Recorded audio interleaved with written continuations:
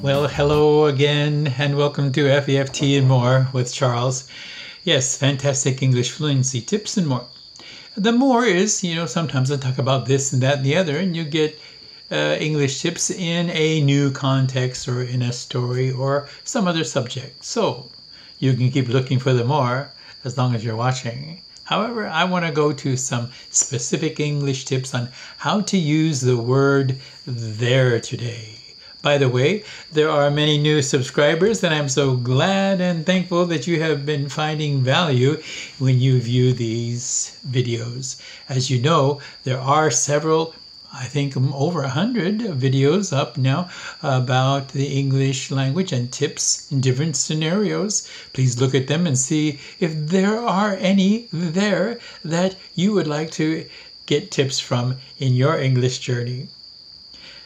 Yes, do give us likes.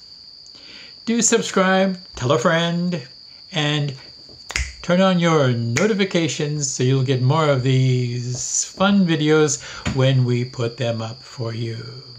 Now, here we are. Let's get right on to our subject, the word there today. Okay, there are many things I would like to say about this, but first of all, uh, let me refer to my notes to just give you a caption uh, about what the word there is. I'm going to read something to you. Please follow along. There, T H E I R, is the possessive pronoun, as in their car is red. But we're talking about the T H E R E word today, often used as an adjective, a noun, an adverb, an interjection. As you know, an adverb uh, describes a verb or a verb phrase, action words. Pronoun is uh, in place of a name or the name of a place. A noun is a thing, person, or situation. Interjection is an exclamation of some kind about a certain subject. And an adjective, of course, is describing a noun or a noun phrase. So let's go into these now. Let's look at the word there as an adverb first.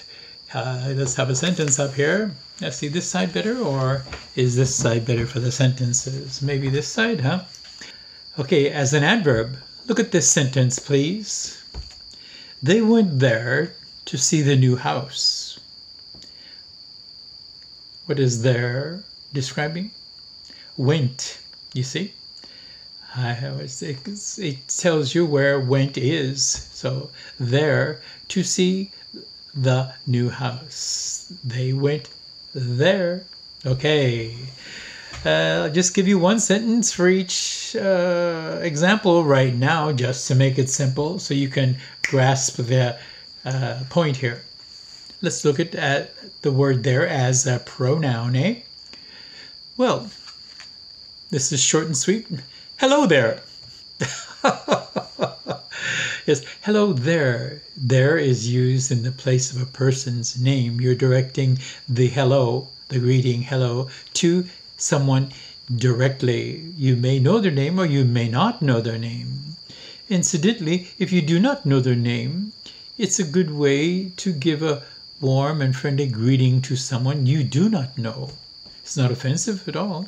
It's like, whoa, hello, hello there. Please use it. Let's go to the word there as a noun. Now, this is a little bit difficult to understand, so stay with me so you can catch it. It's an interesting sentence, so I want to get it up here to you. There is no there and no here in actual space. Think of it space. What is there in space? Well, there is space. But how could how do you say there or how do you say here in space? It's just all there. so there is there is no there and no here in actual space. There is a noun of location, by the way. Let's look at it as an interjection. Ah, there. It's all done. You're exclaiming that what you are doing has been accomplished. There. It's all done. That's an interjection to bring attention to the fact that something has been finished. There you go. and now let's look at there as adjectives, shall we? He is there to answer your questions. There is describing he, an adjective. He is a person, a thing, right? And so he is there. Where is he? Well, he's there to answer your questions. There is describing him, him, him, the man, the person there. So, yes, the there modifies he there. so, are there any other questions? Are there any? You see how we use this? Are there any other questions or any other um, things you would like to know about the word there? Uh, do remember there is singular and plural, can be used in the singular and plural uh, forms. For example, is there a light on? Question form, is there? Yes, there is. Yes, there is. No, there isn't, you would say, right? You know, in questions, the verb usually comes at the beginning of uh, the, the sentence, doesn't it? Question form, the verb is at the beginning. You could see that in plural also. Are there any lights on? Are there any red lights on? Any blue lights on? Are there any lights on? Yes, there are, or no, there aren't. You see?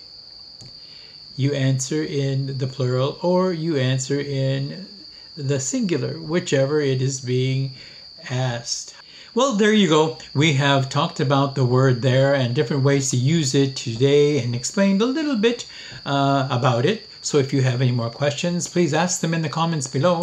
And I'd be very happy to uh, extend this uh, explanation about the word there. Most of all, please use it in your conversation. There are many ways to use it and many situations to use it in. So, thanks a lot for watching. Good to see you. Yes, do subscribe. Tell a friend about these tips. Yes, give us likes and don't forget to turn on your notifications. Remember to turn them on so you get new tips the next one in the next one we put up. Good being with you and do please take care and I'll see you next time. Bye now.